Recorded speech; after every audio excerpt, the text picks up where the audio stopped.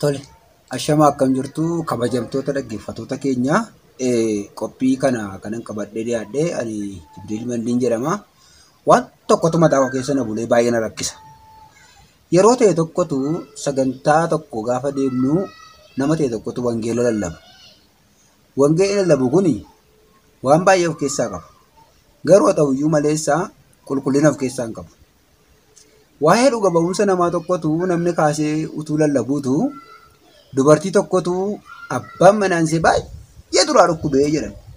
Gaafa baay'ee duraa dhukkubu akkas jette yaa Waaqayyo gooftaa abbaa manaa koo kana yoo naa maarte ani immoo faarfannaa haaraa barreesseenii fuula waldaa kee dura dhaabbadhee saba kee dura dhaabbadhee dhugaa sii ba'aa jette. Abbaan manaansee kunii mucaa tokko ishee irraa qabaa maqaan mucaa isheetii immoo diggee jedhamtee waamamti.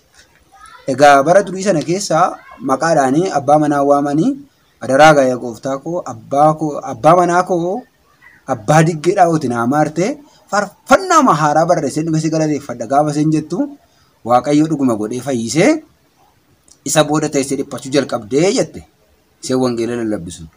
Teessee dhiphattee akkas jette Arangamaan daraaree galata gooftaa Yesuus abbaa diggee si maaree jettee dhattee gaafa isheen faarfattu jalaa qaboo isaa immoo waldaan arangamaan daraaree guyyaa gaafa siyyuu arangamaan daraaree situ isa gargaare waldaan arangamaan daraaruu isaatu duukaa faarfatan.